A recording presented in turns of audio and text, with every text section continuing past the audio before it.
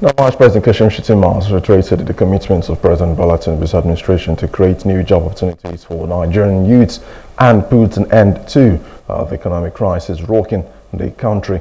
Now, Shettima dropped the ins while the launching of uh, the third expanded National Micro, Small and Medium Enterprises Clinic in Ado Ekiti, the State Capital on Thursday.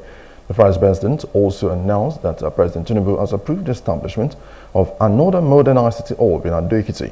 Our project is said will be completed within 90 days. As host, Governor Biodun Oyebanji uh, commended the efforts of the presidency in delivering dividends of democracy. This is why we are here today to fulfill the promises we have made to the people. And there is no nobler way to appeal to the land of honor and integrity than by ensuring that we are not only expanding the labor market, but also supporting skills required. They are here to offer guidance and provide the necessary services for the smooth operation of their businesses. Our private sector partners, including MAN, NASME, NASIMA, Access Bank, and many others, are equally mobilized to collaborate with you in transforming your entrepreneurial dreams into reality. Today also marks the inauguration of the ultra-modern MSME clinic, Fashion Hub at Odua Textile Complex, Basili Array.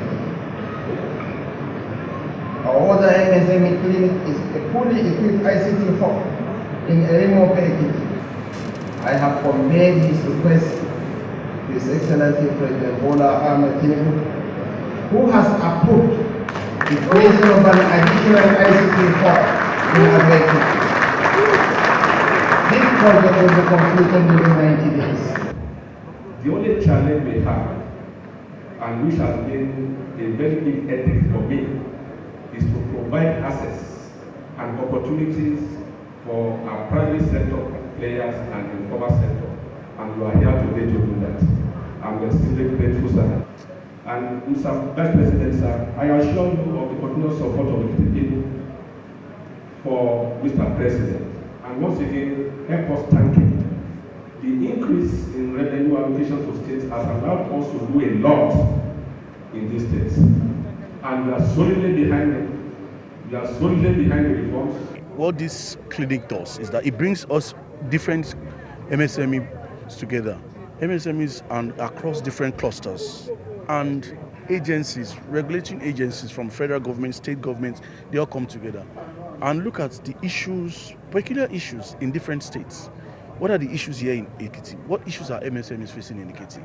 And how can the federal or state governments resolve those issues? By and large, MSMEs today who have exhibited or who are exhibiting, the outstanding ones will go home with some grants. So it is, it is, it is more or less like a feedback mechanism from the MSME stakeholders, the MSMEs themselves, the states, and the federal government because the entire ecosystem must work together to ensure that the SME space continues to thrive.